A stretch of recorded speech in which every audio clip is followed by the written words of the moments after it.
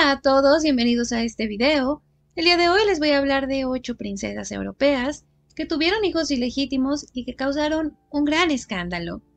Desde luego que algunos de estos casos tienen mucho de rumor, pero también tienen una buena base histórica.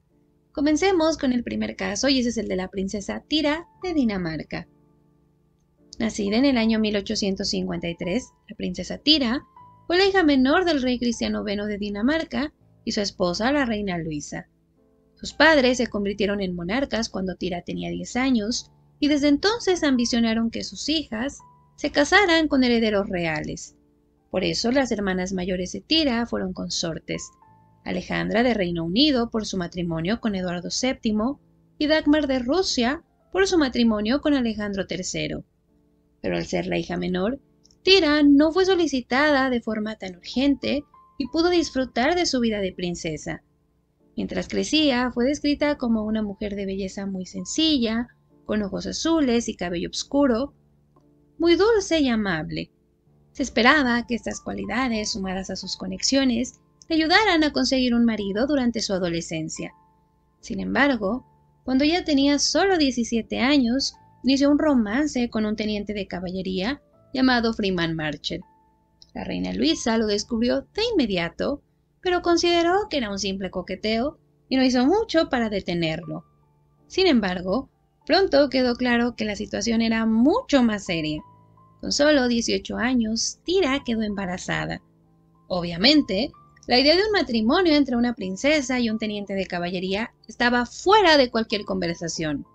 De inmediato, la familia real danesa se enfocó en apaciguar el escándalo. Tira fue llevada por su hermano, el rey Jorge I de Grecia, a Atenas, donde dio a luz en secreto en el año 1871. De inmediato la niña fue separada de su madre y se cree que la nombraron María y la dieron en adopción a una familia danesa, aunque su destino es en muchos sentidos misterioso. Públicamente la ausencia de Tira se justificó con enfermedades y el embarazo se le ocultó al público de forma exitosa durante mucho, mucho tiempo. Para poder cerrar este capítulo de forma correcta, la familia real danesa envió a Freeman marchar lejos, resignándolo en otro castillo. Pero él no se mostró contento con el acuerdo y le reclamó al rey poder ver a Tira y a su hija. Esto, desde luego, que fue completamente imposibilitado por la familia real, y se dice que completamente frustrado, él se suicidó el 4 de enero de 1872. Por su parte, Tira tuvo que mostrar su arrepentimiento y pasó los siguientes años lejos de cualquier escándalo con una rutina tranquila. Durante ese tiempo, Tira recibió la propuesta del rey Guillermo III de los Países Bajos, pero esa propuesta fue rechazada principalmente porque Guillermo tenía casi 40 años más que ella. Pero la reina Luisa todavía quería ver a su hija Tira casada con un monarca, aunque sabía que el escándalo de la niña era un secreto a voces en otras cortes reales europeas. Y eso en muchos sentidos limitaba a los candidatos para ser esposo de Tira. Aún así, en el invierno de 1875, Tira conoció a Ernesto de Hanover, descendiente del rey Jorge III de Gran Bretaña y heredero al reino de Hanover. Pero ese reino se lo había anexado Prusia, y Ernesto junto a su familia estaban exiliados por lo que él no tenía posibilidades de reinar, y Tira de ser consorte. Ernesto además era ocho años mayor que ella, y fue descrito como un hombre nada atractivo. Sin embargo, Ernesto sí tenía una enorme herencia económica y una ascendencia completamente real. Pero lo que era más importante es que a él le agradaba Tira y no le importaba su pasado escandaloso. Así que cuando la reina Luisa insinuó el matrimonio, él se mostró dispuesto, por su parte, Tira estaba encantada con el carácter gentil de Ernesto y se mostró contenta ante un posible matrimonio. Ambas familias aceptaron la unión, pero había intereses internacionales en contra, por lo que pasaron casi tres años hasta que la pareja se casó en diciembre de 1878. Tuvieron un total de seis hijos, fueron reyes de Hanover en título, porque en la práctica nunca reinaron, pero se describe que fueron una familia muy feliz, aunque se cuenta que Tira tuvo varios episodios de depresión, principalmente debido a que ella nunca pudo tener ningún contacto con su hija ilegítima a la que tuvo que dar en adopción. Caso número 2. Matilde Ludovica de Baviera. nacida el 30 de septiembre de 1843, Matilde, duquesa de Baviera, fue la cuarta hija del duque Maximiliano y la princesa Ludovica. Por lo tanto, Matilde era nieta materna del rey Maximiliano José I de Baviera, y su familia era rica y conectada a diferentes casas reales. Una de sus hermanas, Elizabeth, mejor conocida como Sisi, se había casado con el emperador austriaco Francisco José. En general, sus padres consiguieron que sus hermanas hicieran matrimonios con buenos partidos, y ese fue el caso de Matilde, quien en el año 1861, a los 17 años, se casó con el príncipe Ludovico de Borbón dos Sicilias. Él era además conde de Trani y tenía 22 años. Pero además de ser un conde, en ese momento, él era presunto heredero al trono de las dos Sicilias. Por este matrimonio, Matilde se convirtió en condesa de Trani y princesa de las dos Sicilias. Pero para 1861, el reino había sido conquistado y eventualmente pasó a formar parte del llamado Reino de Italia, por lo que la posibilidad de ser una reina se perdió completamente para Matilde. Además de todo, su matrimonio era completamente infeliz. Su esposo bebía mucho, tenía amantes y un hijo ilegítimo, mientras que Matilde pasó los siguientes años de su vida viajando junto a sus hermanas, pero Matilde no solo viajaba, sino que se cuenta que durante ese periodo tuvo breves coqueteos, hasta que en Nápoles conoció al diplomático y autor español Salvador Bermúdez de Castro, duque de Ripalda y Santa Lucía, de quien quedó embarazada, dando a luz en el año 1864. La niña fue llamada María Salvadora Bermúdez de Castro y fue enviada a Inglaterra para ser criada por su familia paterna. Eventualmente, esta niña heredó el ducado de Santa Lucía, convirtiéndose en duquesa por derecho propio. Matilde, sin embargo, nunca pudo ver a su hija, todo el asunto se mantuvo en secreto. El escándalo fue silenciado por la familia y Matilde tuvo que retomar su relación marital. Le dio una hija a su esposo, la princesa María Teresa Magdalena, nacida en el año 1867. Pero Matilde no había renunciado a su amante Salvador. Se dice que llegaron a vivir juntos hasta la muerte de él en marzo de 1883. Después Matilde se mantuvo alejada del escándalo y en apariencia mantuvo su matrimonio. Ella sobrevivió a su esposo por 39 años, pero nunca se volvió a casar. Murió el 18 de junio de 1925 con 81 años. Caso número 3. La reina María Sofía de Baviera. Nacida en octubre de 1841, María era una de las hermanas mayores de Matilde. Ella se casó a los 18 años en el año 1859 con Francisco II de las dos Sicilias, cinco años mayor que ella. El matrimonio había sido planeado con mucha antelación y Francisco había buscado incansablemente a María, aunque por motivos meramente políticos. María se convirtió en reina consorte, pero ese reino, como les conté, fue derrocado y aunque ella fue reconocida como una reina guerrera por intentar dar batalla, al final ella y su esposo terminaron exiliados en Roma. Vivieron cómodamente, pero el matrimonio no se consumó durante varios años, porque Francisco padecía filmosis. Además, él fue señalado por ser demasiado piadoso y en general su relación fue bastante distante. María se dedicó a viajar junto a sus hermanas, pero a diferencia de ellas, María fue mucho menos discreta, ella se involucró en varias polémicas, fumaba en público, nadaba desnuda, y al igual que Matilde, María Sofía se involucró en relaciones extramaritales, quedando embarazada. Para evitar el escándalo, alegó que tenía una enfermedad y se retiró a un convento, lugar en el que dio a luz en noviembre del año 1862. La niña fue nombrada Matilde María Sofía y fue dada en adopción. Pero, según sus descendientes, la madre sí se mantuvo en contacto con ella a través de correspondencia. Sin embargo, la identidad del padre ha sido motivo de muchas especulaciones. Una teoría dice que también fue el español Salvador Bermúdez de Castro, con quien su hermana Matilde habría tenido una hija. Pero esto es solo una teoría, realmente no se sabe quién fue el padre de esta niña.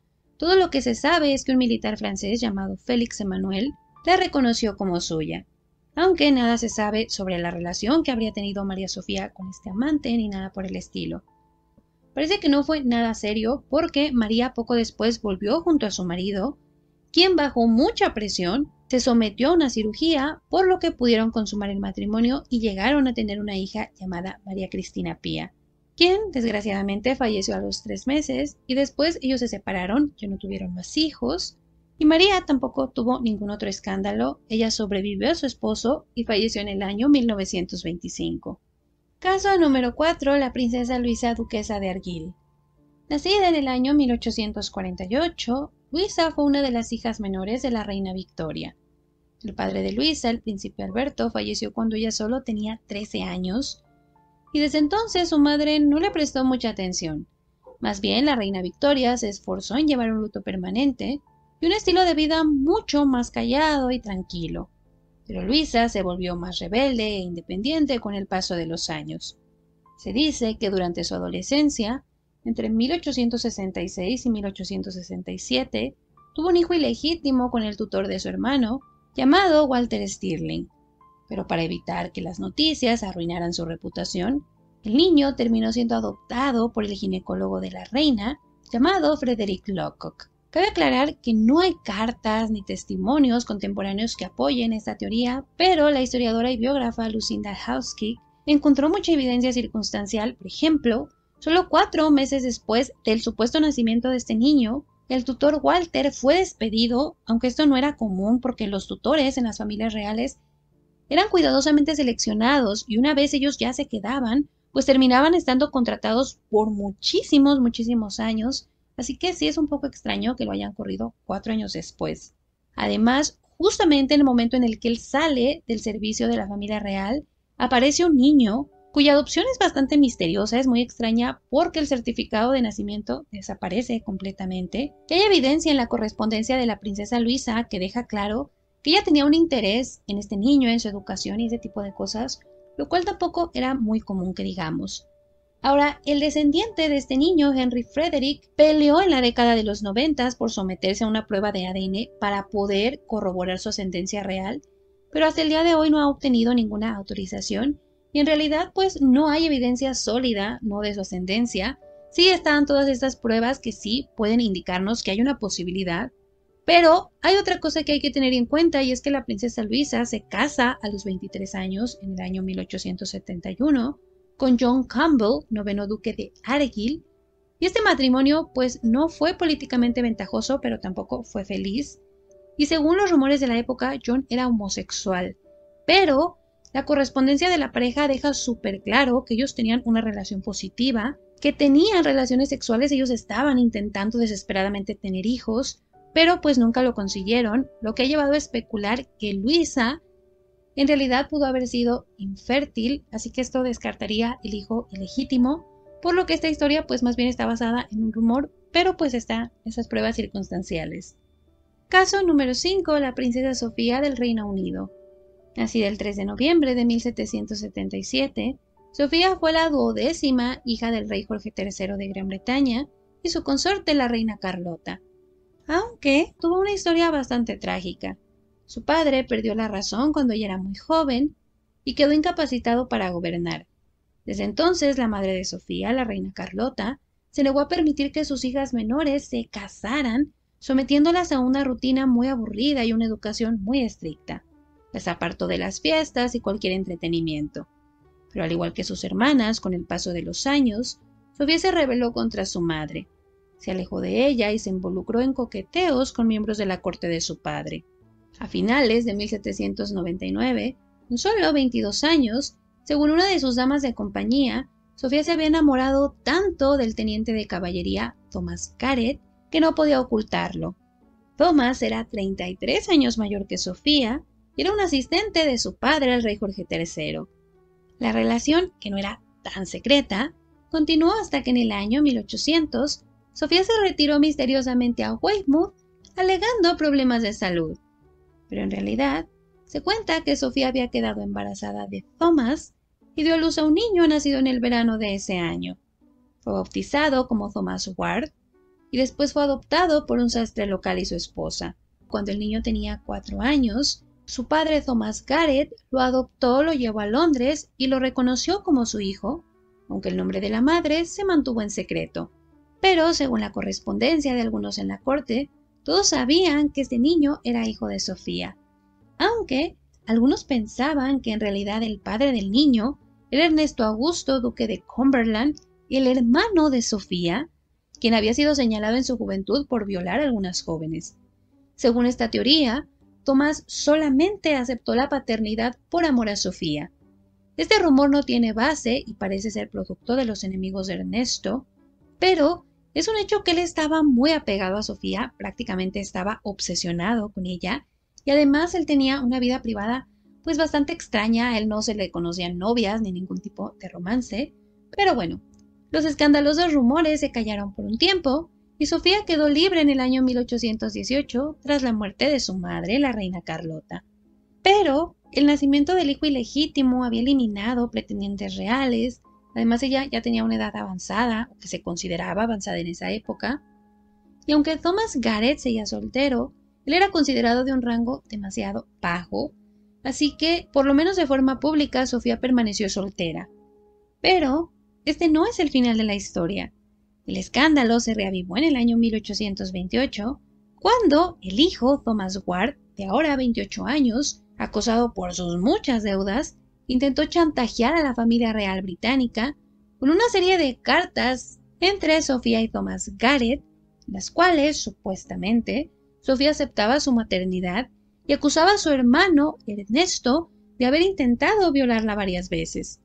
Según Thomas, la familia real británica aceptó llegar a un acuerdo con él, obtuvo las cartas y se deshizo de la evidencia, pero se negaron a pagarle, por eso Thomas fue a la prensa y les contó toda la historia. Esto resultó en un enorme escándalo que afectó de forma definitiva la reputación de Sofía y su tranquilidad. Ella evitó dar cualquier declaración al respecto, se mantuvo lejos de la vida pública, ella pasó sus últimos años de vida acosada por este hijo ilegítimo que nunca dejó de exigirle dinero. Sofía además perdió la vista y fue robada. Murió el 27 de mayo de 1848.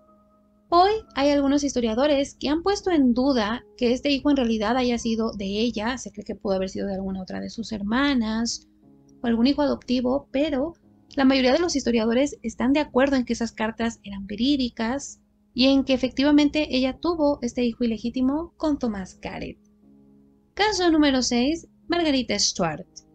Nacida en el año 1455, Margarita fue la hija de Jacobo II de Escocia y María de Weldres. Sin embargo, Margarita perdió a sus padres durante su infancia y su hermano se convirtió en rey de Escocia como Jacobo III. Con este cambio, Margarita ya no se consideró un miembro tan importante de la familia real. Aún así, Margarita fue una niña muy consentida y bien educada porque era la favorita de su hermano, el rey, quien estaba ansioso por obtenerle un buen esposo y buscó candidatos principalmente en Inglaterra aunque todos los planes se frustraron porque durante su adolescencia Margarita fue seducida por Lord William Crichton. Se dice que William en realidad solo quería arruinar a Margarita para vengarse de su hermano el rey Jacobo III, quien supuestamente había seducido a la esposa de William.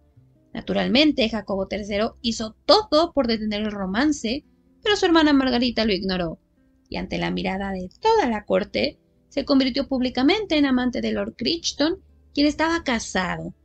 Sin embargo, eso a ella no le importó, y entre 1478 y 1485 tuvieron por lo menos una hija ilegítima, llamada Margarita, quien se crió en la corte real, pero no obtuvo títulos ni fue reconocida como legítima.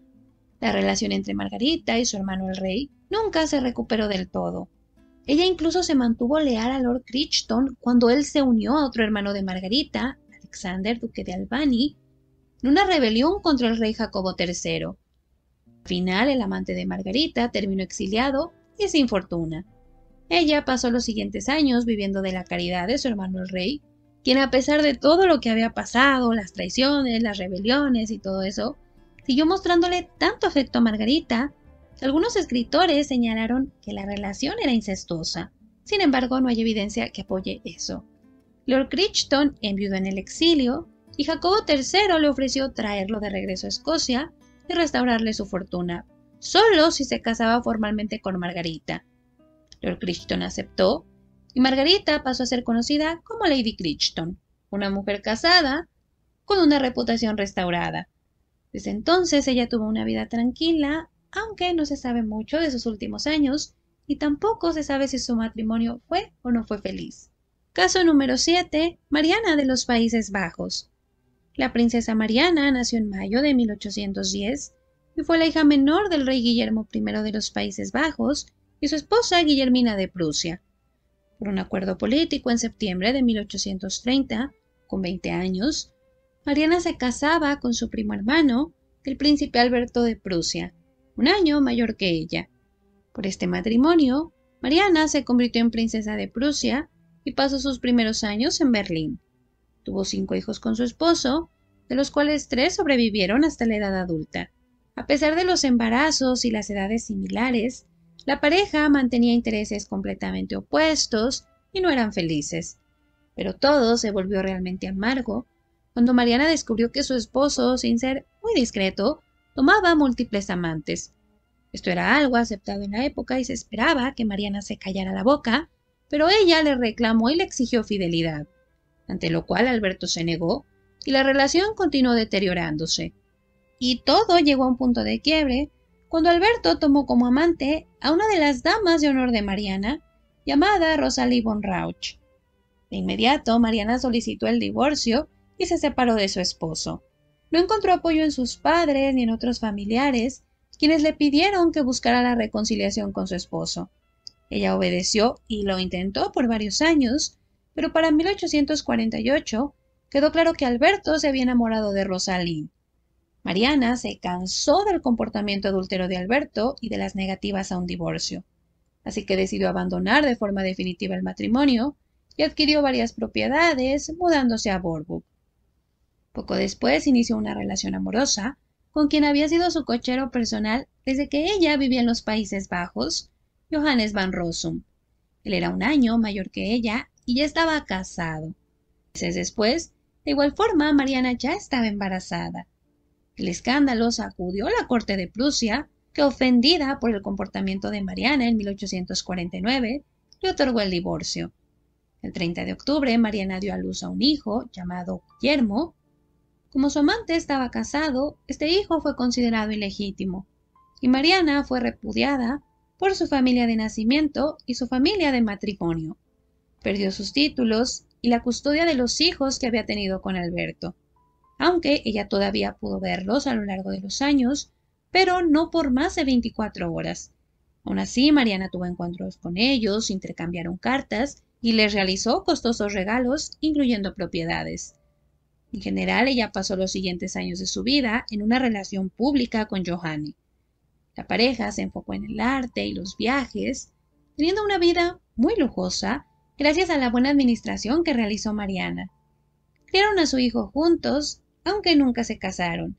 Esto a pesar de que la esposa de Johann, Katarina, murió en el año 1861. Mariana pasó su vida apoyando causas sociales, el acceso a la educación, la música y el libre pensamiento.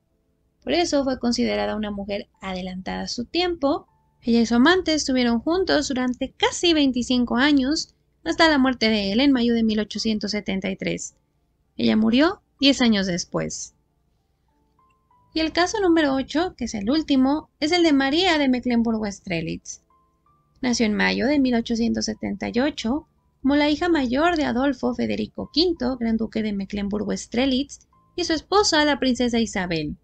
La infancia de María transcurrió sin incidentes y era considerada una joven tranquila y bien educada, por lo que tuvo una serie de pretendientes, pero un suceso cambió para siempre su destino. En 1898, con solo 19 años, se hizo evidente que María estaba embarazada. Ella se dijo completamente ignorante de la situación y luego de una minuciosa investigación se descubrió que el padre del hijo era nada menos que un sirviente llamado Hedge, quien fue rápidamente despedido acusado de haber robado. Hedge era el encargado de llevar lámparas de gas al dormitorio de María, de modo que así tuvo la oportunidad de estar cerca de la princesa. De modo que esa fue su oportunidad para estar cerca de María. La familia trató de ocultar el embarazo, pero fueron demandados por Hedge, a quien tuvieron que pensionar, aunque nunca dejó de exigirles dinero. La prensa antimonárquica reveló el escándalo, pero los parientes de María no la culparon a ella. Esto porque supuestamente María era demasiado inocente, demasiado tranquila, y no hay evidencia de que tuviera algún tipo de relación con Hedge. Por eso, por ejemplo, la reina Victoria consideró que ella pudo haber sido drogada, mientras que otros primos de María pensaron que había sido hipnotizada, su abuela pensaba que la había amenazado, y otros miembros de la familia consideraron que ella se había sido culpable, pero porque era demasiado ingenua. María nunca aclaró nada y se desconoce las circunstancias de su embarazo. Ella dio a luz a una niña ese mismo año, la cual entregó a su abuela María Augusta, gran duquesa de Mecklemburgo, quien se encargó de la crianza de la niña. Pero los padres de María estaban furiosos con ella por la humillación y la enviaron castigada a Francia, donde tuvo que vivir de incógnita por algunos meses. Se esperaba que el escándalo se calmara y aprendiera de sus errores. Pero en el exilio, María conoció a George Gemettel, conectado lejanamente a la nobleza papal y proveniente de una familia rica, aunque él no tenía ascendencia real más bien estaba buscando cómo emparentarse con la realeza. La pareja parece haber congeniado bien, y los padres de María le ofrecieron a él una buena dote para que ignorara el pasado de María. Él aceptó de inmediato y la pareja se casó en 1899. Debido a la carencia de rango por parte del novio, el matrimonio fue considerado organático, aunque fue apoyado por la familia de María. Ella rápidamente le dio dos hijos a su esposo, pero él mantuvo varias amantes, incluyendo la infanta casada Eulalia, quien era hija de la reina Isabel II de España. Debido a las infidelidades, la situación del matrimonio se volvió insostenible y la pareja se separó. María solicitó el divorcio, alegando que él solo se había casado con ella por dinero. El proceso, sin embargo, resultó lento y escandaloso.